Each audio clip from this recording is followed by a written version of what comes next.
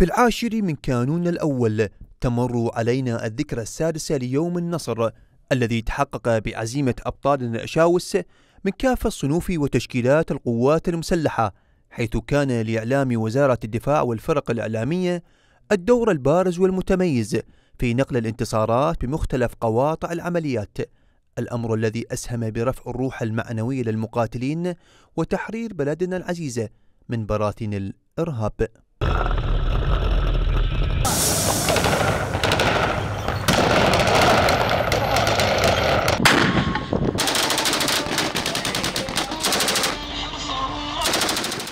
أكيد يوم النصر يعني حقيقة اللي يمثل انتصار الحق على الباطل. العراق تعرض إلى آه، أعتى تنظيم إرهابي على وجه الأرض سيطر على 40% من مساحة العراق. آه، هذا التنظيم كان عمل الدؤوب هو القتل والذبح والترهيب والإرهاب تدمير البنى التحتية آه، تدمير كل شيء يمت الحياة بصلة. بتضافر الجهود جميعا من القوات المسلحة العراقية المشتركة من قطاعات الجيش وجهاز مكافحة الإرهاب والشرطة والشرطة الاتحادية والرد السريع وكذلك الحشد الشعبي وأبناء العشائر والشعب العراقي. استطعنا أن نحقق النصر وتكلل هذا النصر بدماء الشهداء والتضحيات الكبيرة التي قدمت من أبناء الشعب العراقي والقوات المسلحة العراقية. أكيد بهذا اليوم أنا أتقدم بأسماء آيات التهاني والتبريكات.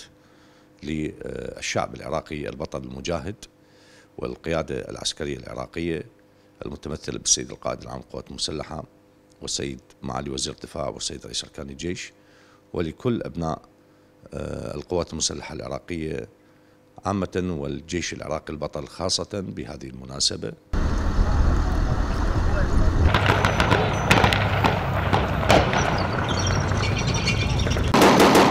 قادتنا الأبطال قادة النصر اللي صنعوا النصر آه، بدماء شهدائنا وجرحانا وكذلك بتضحيات أهلنا من كل شعبنا. هذا يؤكد بأننا آه، كنا نعمل بمنظومة آه، القيادة والسيطرة الموحدة. هذا يؤكد بأننا استطعنا من خلال هذه المنظومة ومن خلال فتوى المرجعية أن ندحر هؤلاء وأن الحقيقة نقدم نصر ليس فقط للعراق وإنما لكل أحرار العالم. لذلك وأؤكد هنا بأنه هذا الدور كان له آه، الواقع المهم وانعكاساته على أداء قواتنا الأمنية وقطاعاتنا الأمنية من خلال رفض آه، كل قطاعات الجيش العراقي سواء بالإعلام أو بالتعاون مع وكالات الإعلام كل الحب والتقدير والتضحية لهؤلاء الأبطال فرسان الإعلام سواء في الدفاع أو في الداخلية أو في أجهزتنا الأمنية أو حتى في الحشد الشعبي.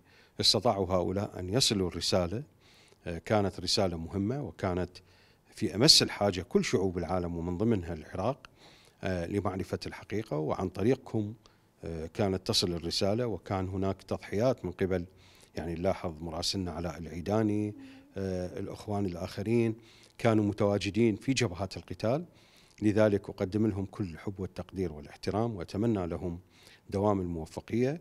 في ظل عراقنا الحبيب الموحد. وكان مبدعو الإعلام يتنقلون في مختلف الجبهات قاطعين آلاف الكيلومترات في الجبال والسهول وفي الصحراء لبث رسائل محزن العدو ومفرحة للصديق.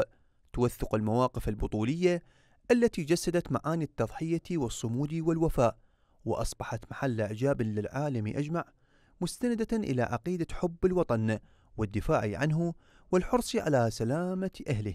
حقيقة كان دورنا مهم في نقل الصورة والصوت والانتصارات للجيش العراقي ولكل القطاعات العسكرية. آه، أنا واحد من أخواني المراسلين اللي كانوا في إعلام وزارة الدفاع نقلت انتصارات الجيش العراقي جهاز مكافحة الإرهاب الشرطة الاتحادية الرد السريع وحتى قطاعات الحشد الشعبي في آه، مناطق بيجو والصينية. آه، نشعر بالفخر حقيقة نحن كمراسلين في وزارة الدفاع بهذا الجهد اللي بذلناه. نعم كانت المهمة محفوفة بالمخاطر محفوفة بالموت أيضا. في الحقيقة كان لي الشرف كمراسل حربي في وزارة الدفاع أن أكون شاهدا وموثقا برفقة المصورين الحربيين الأبطال للانتصارات التي حققتها قواتنا الأمنية ضد عصابات داعش الإرهابية. الحقيقة المرحلة كانت صعبة وحرجة ومليئة بالمخاطر لكنها كانت مهمة ضمن عملنا كإعلام أمني. لنقل الحقيقة وإظهار قوة واقتدار قواتنا الأمنية ضد عصابات داعش الإرهابية وكشف زيف تلك العصابات. من وسط قضاء الحمدانية المراسل الحربي لوزارة الدفاع فاق العطواني صباح الخزعلي إعلام وزارة الدفاع. من سلسلة جبال بادوش غرب نينوى. علي سامي إعلام وزارة الدفاع. من محافظة نينوى محمد الشويلي المراسل الحربي لوزارة الدفاع. لإعلام وزارة الدفاع الملازم أول مصطفى علي. ليكونوا سدا منيعا ضد أي عملية تعرضية. أيمن الموصل سلام رباعي. إعلام وزارة الدفاع. من أطراف مدينة الموصل لإعلام وزارة الدفاع أيوب الصافي. من منطقة الخزفة في قضاء حديث المراسل الحربي وزارة الدفاع النقيب علاء العيداني. تنطلق من قاعدة الشهيد محمد علاء الجوية. مديرية أعلام الجيش الأبطال وبرأس الحرب تلقاهم عقاب مديرية أعلام الجيش الأبطال وبراس الحرب تلقاهم عقاب الساتر من عربنا تعرف وش قال. الساتر من عربنا تعرف وش قال. وش قال؟ لقطات أسرع من يثور البشر. هو يسرع من يثور البشر. عم أسرع من يثور البشر. يوم النصر العراقي عنوان للشجاعة ورمز التضحية والفداء. يوم انتصرت فيه إرادة العراقيين على قوى الشر والظلام.